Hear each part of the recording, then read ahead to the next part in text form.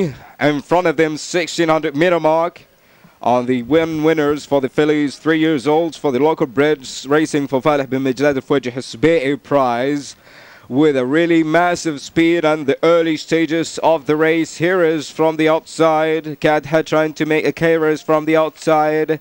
Mutajaddid trying to make a superb move at the early stages between horses up the outside, holding the white silks and the green hat in between horses as running up the outside and the far side as they reach the 1600 meter mark with a really fast place and the fast pace at the early stages of the race. Here is Al-Hidam who's in front and second up the outside. Abu Karam making a superb move as they reach the uh, 1200 meter mark out the outside and Mutajaddid trying to find a new gear as they run the back stretch with a really massive pace at the middle east of the uh, stages of the race. Al-Hidam giving away the lead from the outside. Here comes Saif Hashim is in front of the horses and the back of the horses and Mutajaddid up the outside trying to make a superb move and he's comfortable until now in his position. El just in the inside giving away the lead to Saif Hashim. Number 11 horse is just in front and then it's in second and third. Abul Karam holding up until now having enough today to be in third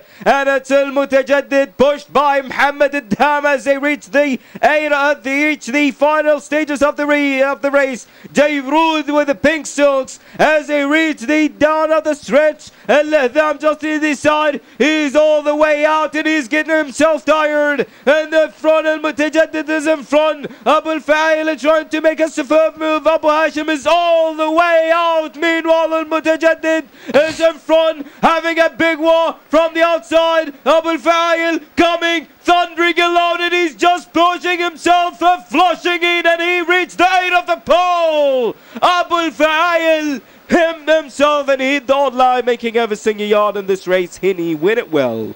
And Mutajaddid in second, Abad in third, Saif Hashim